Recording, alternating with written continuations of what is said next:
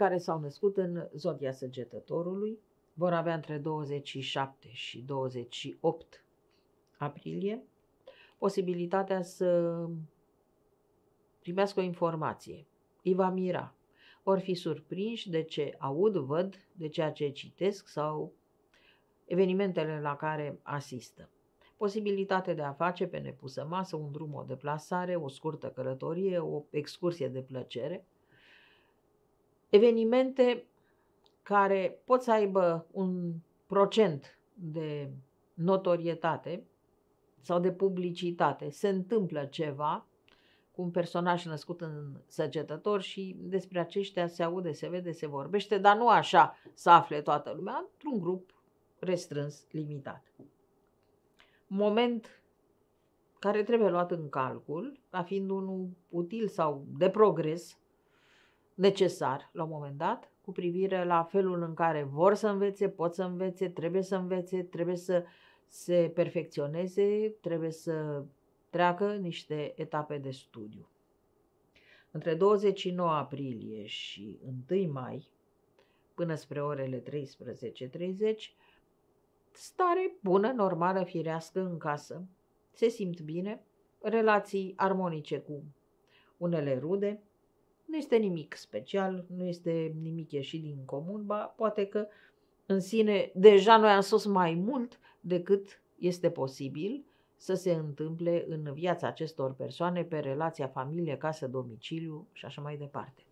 Între 1 mai, după ora prânzului, și 3 mai, sectorul relațiilor sentimentale este provocat de patru planete în tranzit prin zodia berbecului. Discuții, trăiri intense, motivații profunde, doruri aprinse și patii multe, cum zice poetul, trăiri care sunt mai firești uh, în cazul celor mai tineri și care vor fi din ce în ce mai atenuate până la a nu se manifesta aproape deloc în cazul celor mai în vârstă.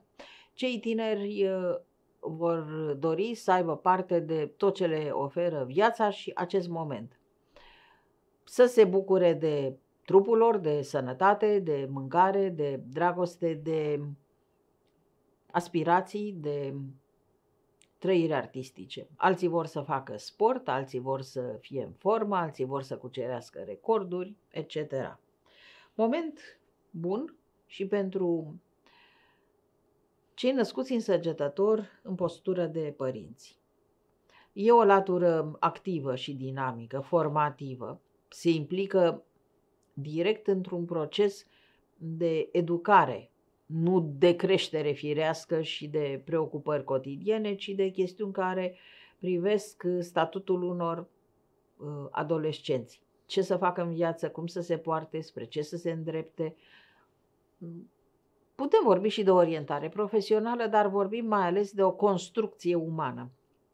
Pentru asta, cei născuți în săgetător optează și, într-un final bine fac, pentru forme de viață care să îi pună în situația de a trăi niște experiențe speciale. Cum ar fi excursia, de exemplu, într-o țară străină. Ideea nu e să-l ducă pe băiat sau pe fată să vadă Parisul sau să vadă Tamisa, ci să vadă cum se trăiește, cum se muncește, cum se cheltuiesc banii, care sunt riscurile, cu ce preț se obține ceva, o avere, o plăcere, sau pentru a-și formula o impresie, dacă copilul dorește să studieze în străinătate sau, așa vrea el, după ce termină studiile, să plece din țară. Și atunci este vorba de un contact cu o altă realitate, cu o altă societate, cu un alt mod de viață. Este o lărgire a orizontului și este o experiență personală care, de asta spuneam și că este binevenită. Ea va avea ecouri profunde în um, conștiința copilului sau al tânărului, indiferent de vârstă, pentru că acesta va fi provocat la tot pasul să primească, să gândească, să judece, să evalueze, să accepte sau să respingă. Și în felul acesta se cristalizează o motivație reală, nu doar o impresie. De acasă, din apartamentul lui, se pare că la Londra este nemaipomenit să trăiești sau mai știu unde, la Sydney. Dar când ajunge acolo și vede despre ce este vorba, poate să își dorească în continuare să plece, dar să nu mai trăiască sau să studieze acolo în acel oraș niciodată. Depinde. E o presupunere, este un exemplu sub formă de model, o mostră. În ziua de 3 mai, luna neagră va intra în semnul peștilor și până pe 27 ianuarie 2020 va străbate sectorul casei, locuinței, gospodăriei, averii, patrimoniului, a relațiilor cu părinții, a educației, tradiții, moșteniri, convingeri și așa mai departe. Partea bună este că luna neagră pleacă din ziua de 3 mai din sectorul comunicării și în fine curăță locul și le dă liber tuturor pentru a vorbi bine, frumos, corect, coerent, cu succes, cu spor. Să învețe, să treacă cu bine examenele, să le treacă mai ușor, să nu mai aibă piedici în procesele formative educative. Să facă o serie de călătorii, excursii și deplasări fără să fie amenințați, cum a fost până acum, la tot pasul de pericol de accidente, de pagube, de pierderi, de enervări, de neconcordanțe, de situații extravagante. Ce va aduce nou acest uh, tranzit al lunii negre prin pești ține de percepțiile lor și de corzile sufletești, legăturile interioare cu trecutul. Și de data aceasta nu mai este vorba de părinți, ci mergem pe arbore genealogic spre bunici, străbunici sau spre toate rudele cunoscute și necunoscute. Spre cele cunoscute avem de-a face cu niște gânduri și proiecții, analize, sentimente și resentimente, catalogări.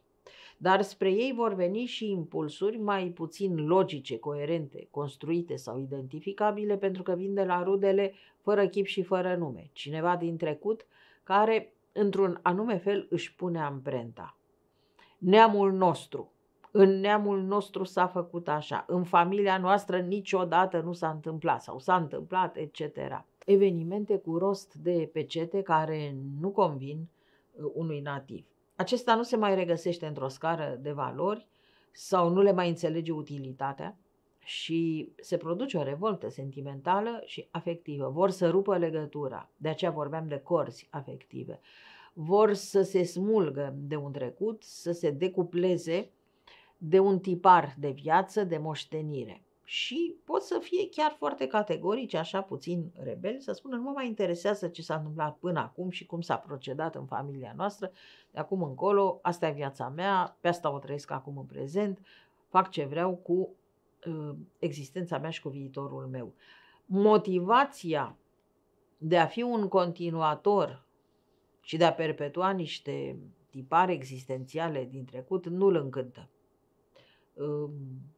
nu vede rostul lor, ba chiar îl și revoltă. Aici se vor produce alchimiile sufletești legate de tot ceea ce ă, pe el acum nu-l mulțumește. Apartenența la țară, limbă, religie, obiceiuri și, în general, le cam respinge pe toate, de avalma, grămadă, pentru că întreaga lui existență este pusă între paranteze și tot la grămadă vrea cu totul altceva din toate punctele de vedere. Și atunci nu mai stă să mai facă trieri, să zică, uite, doar la acest aspect eu cedez și pe ăsta îl păstrez și pe ăsta îl respect, dar cu toate celelalte uh, fac ce vreau. Le dau de adura, le ignor, le persiflez și le consider factori uh, blocanți a existenței mele. Și de acum încolo tot ceea ce este de viitor îmbrățișez fără nicio condiție, totul e bun, frumos și nu încep eu acum să găsesc pe tensoare. Este o atitudine mult prea tranșantă, cam uh, heuristică, pentru că în această dezordine afectivă, de fapt, șade criza interioară și ea îi face să fie inegali, subiectivi sau uh, neadaptați. Unii, cei tineri, vor avea reacții necontrolate, cei maturi vor avea reacții foarte motivate și imposibil de reprimat. Dar asupra lor vom vorbi de-a lungul uh, lunilor viitoare. vor fi momente mai intense și momente mai atenuate. Unul dintre momentele cele mai speciale care se va produce în 2018 va fi, cred că vă dați seama despre ce este vorba, șirul de quadraturi care va fi făcut de luna neagră cu Jupiter însăgetător. Atunci va fi vorba de un atac la persoană și atunci nu va mai fi vorba de familie, tradiție, moștenire și lupta cu unchii, mătușile și strămoșii fără chip și fără nume, ci chiar cu el însuși, cu chip, cu trup și cu nume. De asemenea, atragem atenția asupra poverei care se cam instalează pe sectorul banilor. Saturn va intra în mișcare aparent retrogradă și va introduce un ritm mai lent în încasări, întârzieri, pagube și amânări cu privire la plăți referitoare la munca prestată. Ă, procedee îngreunate de chestiuni administrative sau juridice, revendicări care nu își află ecou, răspuns sau soluție, demersuri insistente, dar foarte puțină șansă de concretizare, chiar dacă la un moment dat dreptatea e de partea lor și au, ce să zic, hotărârea judecătorească în mână. Bun, și nu fac decât să o fluture pe la tot felul de camere și instanțe și persoane și toată lumea se uită, îi ascultă, îi înțelege, ridică din numeri și nimeni nu poate să facă nimic pentru ei. Acestui Saturn retrograd îi se alătură și un Pluton retrograd și cele două planete și în conjuncție își dau mâna și vor rămâne în conjuncție încă multe, multe săptămâni, doar târziu, în vară, se vor distanța la 6-7 grade între ele. Deocamdată sunt încă puternice, umăr la umăr, acționează pe acest sector al banilor. Nu cheltuiți banii pe care aveți, economisiți, nu risipiți ceea ce ați reușit să strângeți, nu vindeți în pagubă, nu vindeți la întâmplare, în principal nu vindeți pentru că, atenție, odată intrată pe 3 mai, luna neagră în această casă care privește și patrimoniu, privește și străinarea de bunuri, cum ar fi un teren, o locuință, etc.